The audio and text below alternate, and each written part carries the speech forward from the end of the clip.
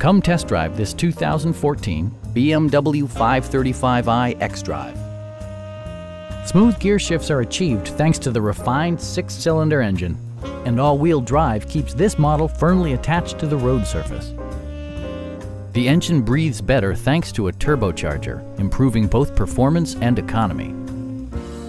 All of the premium features expected of a BMW are offered, including a power seat, automatic dimming door mirrors, heated front and rear seats, high-intensity discharge headlights, and leather upholstery.